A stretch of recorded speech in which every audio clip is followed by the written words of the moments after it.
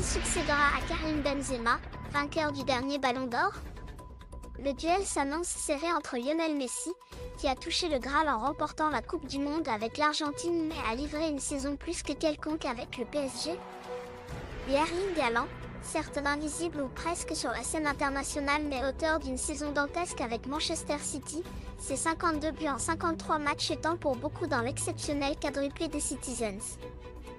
Le duel fait rage et à un mois de la cérémonie du Ballon d'Or au Théâtre du Châtelet, qui se tiendra le lundi 30 octobre, l'heure est au pronostic.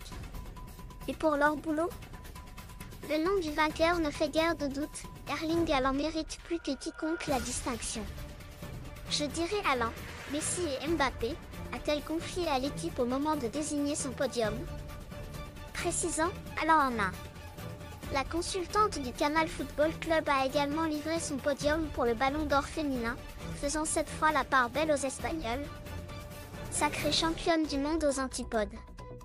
Je dirais bon Mathieu en 1, Paraluelo en 2 et Sam Kerr en 3, a-t-elle ainsi lancé? Réponse dans un mois. Organisé par France Football.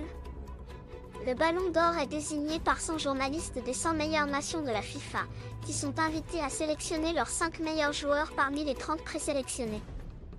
Ils classent leurs 5 choix et un nombre de voix est attribué en fonction de ce classement avec 6 points pour le premier, puis 4 pour le deuxième, 3 pour le troisième, 2 pour le quatrième et 1 pour le cinquième.